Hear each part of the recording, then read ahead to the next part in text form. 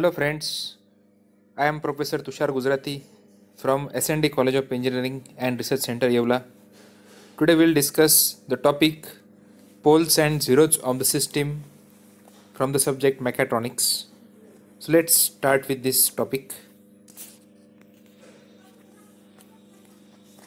So what is poles and zeros? Okay.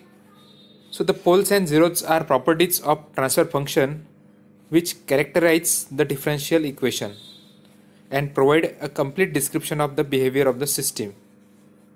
Okay? So we want to find out behavior of the system whether system is uh, stable or unstable.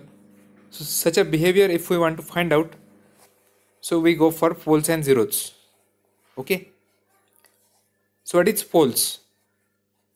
So the poles of a transfer function are the roots of the characteristic equation in the denominator of the transfer function.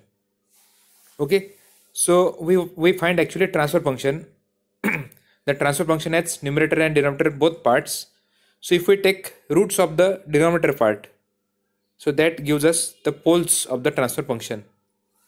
And what is zeros the zeros of a transfer function are the roots of the characteristics equation in the numerator of the transfer function.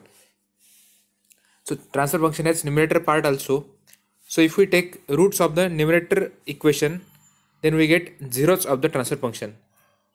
So these are the two definitions of poles and zeros. Okay. So poles is related to denominator roots. Okay. And zero is related to roots of numerator equation. Okay. This you have to remember. Now here the relationship is provided between the poles of the system, damping coefficient and natural frequency. Okay. So usually the damping coefficient, whatever damping coefficient is there, it is denoted by zeta and natural frequency is denoted by omega n. This is natural frequency. Okay. So when we find out roots of the equation, okay, so roots of the equation has two parts. One is real part and one is imaginary part. So whatever real part is there, it is denoted on x-axis. So this is real part and whatever imaginary part is there that is shown on y-axis. Like this there are two parts, real and imaginary. So whatever damping coefficient is there, this damping coefficient zeta, it is provided on x-axis.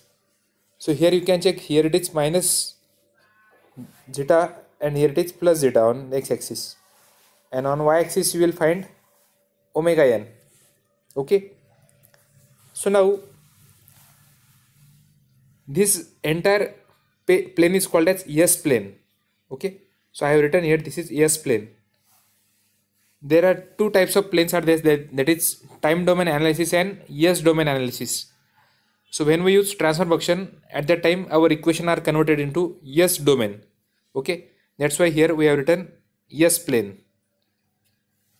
Now uh, we have marked two poles in this graph. So this is one pole here and one is pole over here.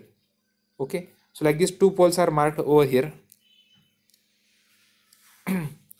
So you can check here. From this zeta is equal to minus 1 if if you go like this what happens? Zeta is decreasing. Similarly on this side also zeta is decreasing. Okay? And zeta is 0 on this y-axis. So here it is zeta is 0 and here also zeta is 0 okay?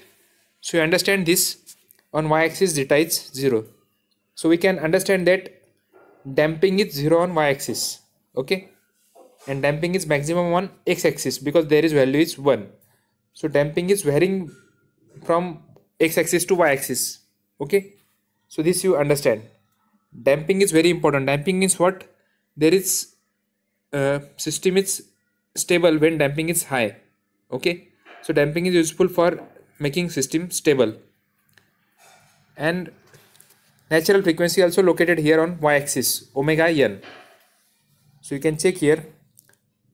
So whatever this pole is there it is located at omega n distance from origin. Okay also this is located at omega n distance. So this is the natural frequency of the system. So depending upon location of the pole the system has natural frequency omega n. So it may be 0 or large or minus also. So like this there is relationship between damping and natural frequency with respect to poles of the system.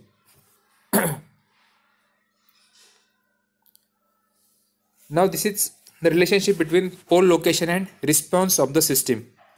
So when we give some input to the system it provides some response. Okay? So how we can find response of the system with the help of pole location? Now you check here. We have provided some different locations pole locations for different system. Okay? So now consider system number one. Okay this is blue colored pole is there. There is only one pole that is blue colored system one. So its response is shown something like this. First graph. So it had some stable response. Okay? It is providing only one peak and then at that time and then what is happening? It is providing stable response. Now there is system number 2 that is green colored part is there. The second graph you can check here so here the graph is providing something uh, inclined line okay? So this is nature of the second system second pole. Now you check third system that is red one and third graph. What happens here? The system re response is 0 initially and it increases after some time okay? So this is the response of third system. Now you check system number 4 so what happens in system number 4 some peaks are shown here and then system goes to stable region. Okay? And system number 5 it has only natural frequency. That's why damping is 0 that's why it is showing continuous variation. Graph number 5 okay? So like this there is location of pole and response of the system. So what i want to tell you actually here you check graph number 1 and graph number 4 graph number 1 and graph number 4 so the poles are on left hand side of the graph. So let us assume this is the middle line. This is right portion and this is left portion. Okay? So for graph number 1 and graph number 4 the poles are on left side. And you can check that the system is more stable in first and fourth number graph. So you can check this is stable region this is also stable region so there are peaks are very less one or two and we get straight line. So that's why when poles are on left hand side at that time you get system stable. And when poles are on right hand side at that time you will get system unstable or marginally stable. Okay? So like this there is relationship between pole location and response response of the system. So let us take example how we can identify poles so there is one transfer function is shown over here. So transfer function is y of s upon u of s is equal to 0.5 s plus 2 divided by s square plus 0.5 s plus 2 so this transfer function has numerator as well as denominator. So let us take denominator. s square plus 0.5 s plus 2 is equal to 0 and make it equal to 0 this equation is equal to 0 and we can find roots of the equation. So you can find roots of equation by using that formula mathematics formula. Minus b plus or minus under root of b square minus 4ac divided by twice a. You all should aware of this formula. And if you solve this and you go on solving you will get poles are located at minus 0.25 plus or minus 1.39 i. Okay? So as i told you earlier the poles have two parts real and imaginary. So 0.25 is real part that is minus 0.25 is real part and plus or minus 1.39 i is negative part okay?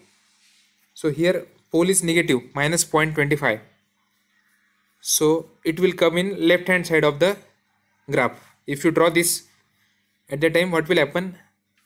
The value is minus 20 minus 0.25 that's why it will be on left hand side of the graph and that's why system is stable. Okay?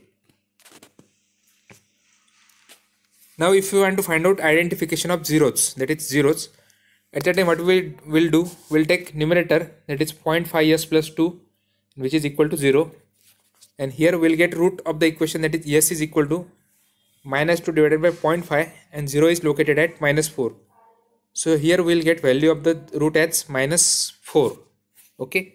So like this we can find 0 of the equation. Now stability analysis based on location of the pole.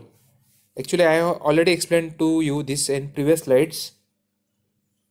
So we can find stability of the system.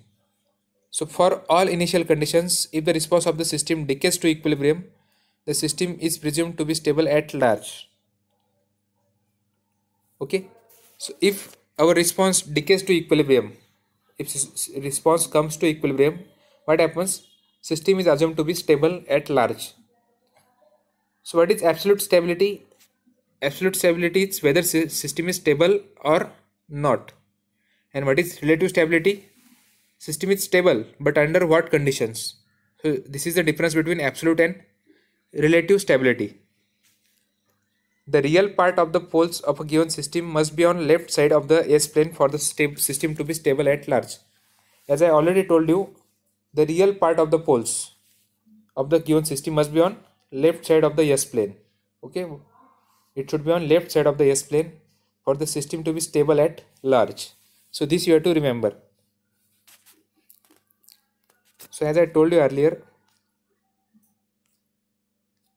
so here you can check this is system 1 so left side whatever the poles is there those poles are on left side.